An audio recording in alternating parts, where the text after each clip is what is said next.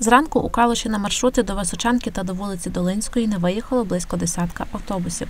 З'ясувалося, що перевізники не порозумілися між собою. Основним перевізником на цих маршрутах є ТЗОВ «Калуштранс», яке уклало усний договір субпідряду із трьома приватними перевізниками. Така угода є незаконною. Приватні перевізники нарікають на кабальні умови. Людина, яка не маючи транспортних засобів, виграла це тендер. На даний момент кажу, людина забирає всі субвенції собі. Плюс ми платимо оренду за автобуси. Ми оплачуємо податки водіїв. Тепер придумані ще якісь там нові історії. Заночування в боксах. То все. Просто Ференц Олег Васильович на даний момент загнав такий угол в нас, що автобуси нерентабельно випускати. Загострення ситуації на даний момент, тепер вон по четвірці, по вісімці велосипед. Загострення ситуації на даний момент. Тому що Ференц Олег Васильович, пригнавши одного автобуса, купивши еталона 2006 роком, взагалі машина, яка в тендері в нас машини брали 7, 8, 13 роки випуску, виставили цю машину на 1Б. Ми прекрасно розуміємо, якщо 1Б поїде сьогодні, завтра поїде другий 1Б. Директор «Калуштранс» Олег Ференц запевнив, що ніяких перемовин про зміну умов перевезення з ним не вели, а просто зранку поставили перед фактом. Е, Фірма Калуштранс має домовленості з приватними підприємцями на виконання даних рейсів. Ось, е, які в принципі, усні, так. В принципі, як субпідрядник вони рахуються.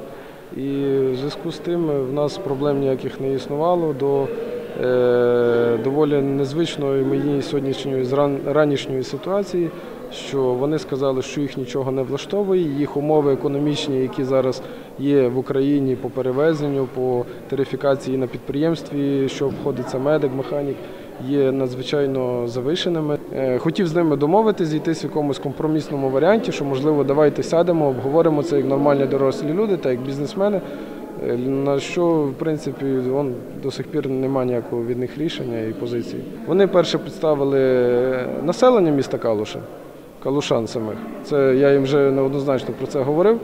Е, Підставили мене як е, людину, яка взяла на себе зобов'язання перевозити, виконувати ці перевезення по договору. Ну і знову ж таки підставили, напевне, знову ж таки міську раду. Заступник міського голови Руслана Вайда відмовилась коментувати ситуацію зі зривом перевезень. Більше того, заборонила давати коментар начальнику управління економіки Калицької міської ради Юрію Соколовському. Забастовка перевізників співпала із акцією пенсіонерів, які прийшли на сесію Калицької міської ради через пільгові перевезення. Ми е, ініціативна група зібралася у офісі Шевченка, депутата Верховної Ради, і від там е, ми е, напечатали, і я лічно розклеїв.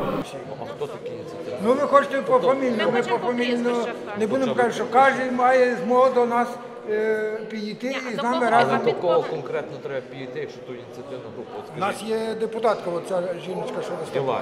Іланя. Іланівна. Вона е, знає в курсі діла. На думку міського голови Ігоря Матвійчука, дві події збіглися у часі не випадково. Все виглядає так, ніби хотіли збурити громаду. Ми просто зараз пояснимо, просто з яких причин просто зірвані рейси, але суть в тому, що по всьому місту розкраєні обяви, е, десь приведені люди. Я, я думаю, що по цей цілком спланована акція стосовно і перевезення, і вартості, все інше. Давайте просто скажемо, сьогодні сталося такі речі.